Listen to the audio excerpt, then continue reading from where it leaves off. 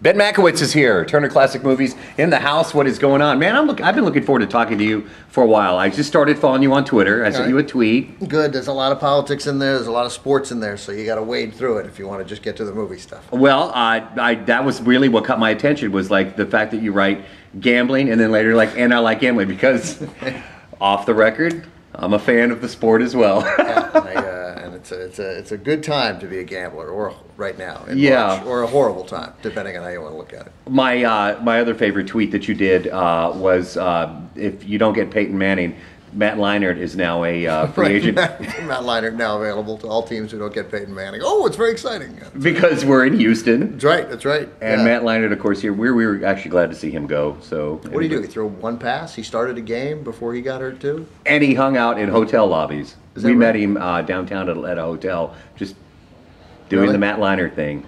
Not a fan. Yeah. Anyway, uh, this is exciting. It's the uh, Turner Classic Movies, the TCM Classic Film Festival, happening in April there at the Roosevelt uh, in Hollywood. Yeah. And so right now you're on a tour ar- across the country, Yeah. showing some of the movies that will be shown at the festival. Um, you know, I don't know whether the movies themselves will be shown at the festival because I don't, I haven't looked at the full list and thought about it in connection with this. But the idea is, um, certainly some of these movies were, and some that we showed last year were actually shown at the festival. So that's probably true. But the idea is that not everybody can get to this festival. Obviously, it's in Los Angeles and it's, it can be expensive for people. So we're just trying to sort of bring what the festival is, a little slice of the festival to as many people around the country as we possibly can.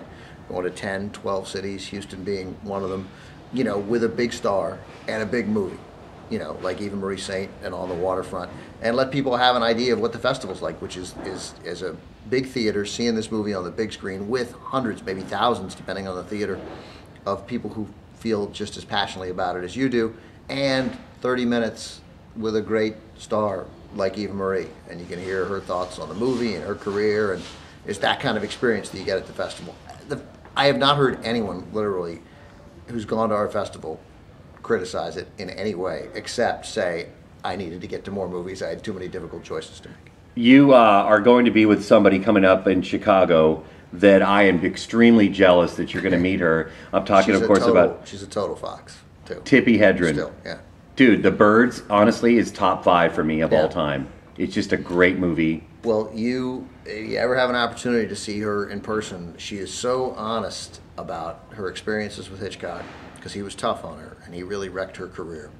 But she also knows that he made her career and she is really candid. She is incredibly appreciative of the work that he did for her and his brilliance. Uh, and she says he was the greatest acting teacher you could ever have. But he was obsessed with her and wouldn't let her out of her contract and kept her from working in other movies while not casting her in anything. So, you know, and that's the kind of sort of honesty that yeah, I don't know, you don't you don't get that a lot. That you don't you don't get a sort of a you don't get a cliched answer from Tippi Hedren. You know, I, I love hearing that story because it's so authentic and it makes it come alive. But another name, Ernest Borgnine, you're going to be with Ernest. And have you met, have you spent some time with Yeah, Ernest I- I before? have, yeah. Okay, let's, we got to talk about Ernest. I have a, a card on my refrigerator. I have one card. You know, I, I meet, I don't meet a lot of celebrities, but I meet some classic stars, and, they're all great. And Eva Marie is a delight and a pistol. And but uh, I got one card in my life, and it's from it's from Ernest Borgnine. And he, it was after we did uh, an event for last year's Road to Hollywood, and we did From Here to Eternity, and he sent me a card afterwards. It was like, Ben, I, you know, these interviews can sometimes be so boring, and I felt like ours was just alive and fresh and fun, and I hope it's the beginning of a friendship. And I'd love to have you over to the house sometime. And I was like, you know, I was like running around. I called, so I'm like, I just got the card on top of my refrigerator. And Ernie, it's so great. He's Oh. such a great guy. He's such a like decent, warm guy. I've been playing a lot of softball. Last year when I, I talked to him and I slid and I hurt my ankle and I'm like hobbling the day after. He's 94 years old. We went to the wrong theater, right? We had to mm-hmm. go across the street in Hollywood. And he, I, again, it seems like a fake story. I can't keep up with him. I'm limping. He's 95. He's like jogging across the street, hold up traffic. Sorry, sorry, sorry. He's a blast, man. He's the best. What, what kind of, uh, I can see it in your face, the way you're describing these legendary classic, real Hollywood stars when Hollywood, Hollywood's still big, but you know, we've got the Brad Pitts of the world, Tom Cruises, there's only just a few that are just mega stars. Right, yeah. Th- that era, from that era, that golden era of Hollywood, uh, it's just got to be a, a thrill for you to meet some of these people and spend some time with these legends that started it all. Really, It's a great thrill. It's an honor, and I'm so lucky. bec- And and you can see that, that almost anyone would feel that it was an honor because, like at these events, like tonight in Houston with Eva Marie, you'll see a reaction to her that's just different than any. I don't, I don't, I don't begrudge any of those stars you mentioned. You know, you, Tom Cruise is a movie star. You Yeah. know, and uh, and Clooney and Brad Pitt, whatever era they were in, they would have handled. They'd have been big stars in the 20s, they'd have been big stars in the 30s. But there's something about if a, a star today doesn't get the same kind of, it, the same sort of passion, these people aren't just thrilled to see him. It means something. When, when, when Ernest Borgnine came out, the last event I did with him, there are people welling up. These aren't crazy people. These are people with uh, kids and, and, and grandkids and parents and uh, obligations in life, and they took this moment out and seeing, you know, the star of Marty, seeing Marty. Yeah. That just it moves them. It means something to them, and, and that's a that that speaks to what this era, this sort of vast era of classic Hollywood, uh, what it means to to so many millions of Americans. Uh, one of the movie that won Best Picture, which I agreed with completely, by the way, it was one of my favorites of 2011. Was uh, of course The Artist, paying homage to uh, the the days of, of Hollywood, you know, past.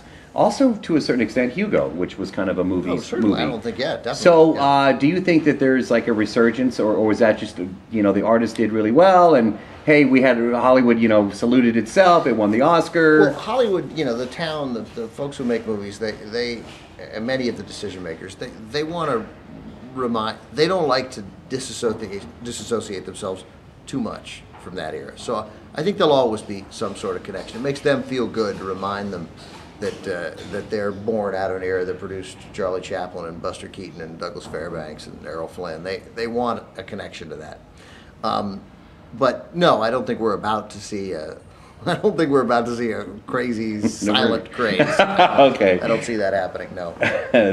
yeah, remember those talkies? And we go back to the right. Yeah, exactly. yeah. I That. don't. I don't see that. I've got to ask you the obvious question, Ben. Um, I don't even know what the obvious question is. it is. and you probably answered it a million times. But just if you could name just a couple of your favorite movies of all time. Oh, sure. Well, I mean, you know, look, I, I, I get moved by Casablanca every time I see it. Um, I get, uh, you know, I just introduced uh, over the weekend um, at the San Luis Obispo Film Festival the first ever screening of Citizen Kane at Hearst Castle. It's a big deal. The William Randolph Hearst family sort of acquiesced finally to letting the movie be shown there on the property. Uh, big two sold out screenings, and they asked me to introduce it. My grandfather, of course, wrote Citizen Kane and was, was part of the the story beyond Citizen Kane and the fight between Orson Welles and William Randolph Hearst to get the movie made. And it was a great, great experience. So certainly I'd have to say Citizen Kane. Then you get more recently, I mean, there's this Hell is for Heroes, but one of my favorite war movies, Steve McQueen, Bob Newhart. It's a great, great sort of un, fairly unsung war movie directed by Don Siegel. Um, it really depends on what I've seen most recently. That sort of impacts thing. I just saw Rififi, which maybe I'd been mispronouncing all my life as Rififi. Uh, that may be more correct. You know, I, I'd seen it 10, 15 years ago. I see it again, and Yeah. oh my God, it was so good. And then I see an interview with Jules Dassin afterwards on, on the on the DVD, and it was. And I'm like, oh my God, I, I, I need more. I have to see every movie that he's made right now in the next Right. four days. Um, but then you get, uh, you know, the movie in my life that I have felt the best about when I left the theater, that I thought this is why you go to movies. Uh, you know, is stars uh, Jennifer Lopez. So Is that for real? yeah, Really? yeah. You want to take a shot at it? Uh, it's not made in Manhattan. It is made in Manhattan. It is made in Manhattan. It's not made in Manhattan. What are you out of your mind? Come on. All right. All right. out of sight. Um, you know, Clooney and uh, and Jennifer Lopez and uh, uh, you know Steve Soderbergh, Steven Soderbergh and uh, Steve Zahn is so great in it. Ving Rhames is so. Don Cheadle was my first real exposure to Don Cheadle. Um, that's a great, great film, you know. And uh, again, anchored by, and also it was before she was J Lo. She was, she's great in it. Dennis Yeah. Dennis Farina's in it, plays her dad. Michael Keaton's in it. It's a great movie. Um, you know, so uh, there's a temptation too when we do these classic Hollywood things. You know, somebody will say, "Oh my God, the movies today," and you see them. There's a lot. There's a lot of ridiculous stuff today. We blow up a lot of stuff. I, the Transformers movies are a little unwatchable to me, but there's great films being made. You know, um, still, uh, story. You know, where it's about sort of story and character. Um, yeah, I mean, not every movie again is you know uh, has to be uh, where we you know uh, blow up a tank. You almost, uh, I mean, this you're doing something you love, and you can you can tell. Uh, but your family, you, you mentioned your grandfather a second ago, but you almost you grew up, you know. Yeah, I grew up around politics. Actually, you know, my father was sort of not in the family business, and you know, my father was Bobby Kennedy's press secretary, ran George McGovern's campaign, uh, president of National Public Radio. So I, I, I grew up much more around that. I grew up in D.C. So it took me a while. Uh, um, you know, I, I didn't feel real connected to the Hollywood part of the family until really I went to college when I started to started to grow on me, and then you know, moving to Los Angeles, it sort of so so some of this did come late. Uh, everybody always asks if it's in my blood, but I, I, don't know. You know, I, I but I'm grateful for it, and and, and the more I, I learned about my family, the more I, I'm impressed I, I Have, you been, them. have you been to the White House? You know, I've never. I think maybe I took a tour. I don't know. You know, I, I'm like one. You know, you, you grow up in a place where that stuff's always available. You don't go because you can always go tomorrow, and then the end, and then all of a sudden you've never been. So, uh, but uh, yeah, I grew up around politics. I still care very deeply about politics, uh, and uh, but you know, politics, movies, baseball, gambling. What else is there? Girls. Sorry. Have you seen Game Change? This is completely different. I wasn't going to bring this up. No, I didn't see Game Change because I was uh, traveling. I guess the night it uh, premiered, and uh, It's but- interesting. But no, I read a lot of stuff about it. It looks like it was pretty good. It was based on a you know serious book there by uh, Mark Halperin and his partner, and uh, you know so uh, it was good. I did. Uh, um, nor did I see um, Undefeated, which was the, Oh, that's fantastic. The the, Yeah. the, the, the the Palin documentary. Yeah. Yeah, Wow. it's fantastic. Really? Uh, well, actually, wait a minute. I'm thinking of something else. No, you think you're thinking of something else. Yeah, yeah, I yeah, think- I yeah. don't think there's a critic in the world that thinks it's No, no, no. I, did, I didn't see that. Yeah. Wow. I know it doesn't sound like that's what it would be about, but that also premiered on the same night on uh, I think Reelz channel.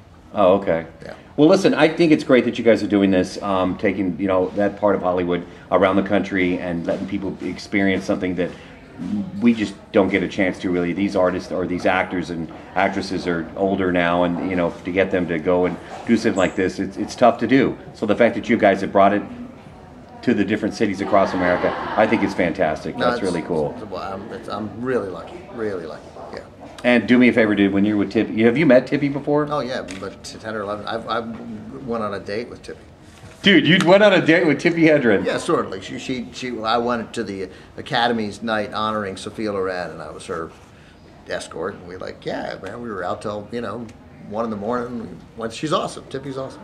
Awesome. Yeah. Ben, thank you so much, man. Appreciate right. it. Awesome, Thank dude. Thank Thank you. you. Thank you.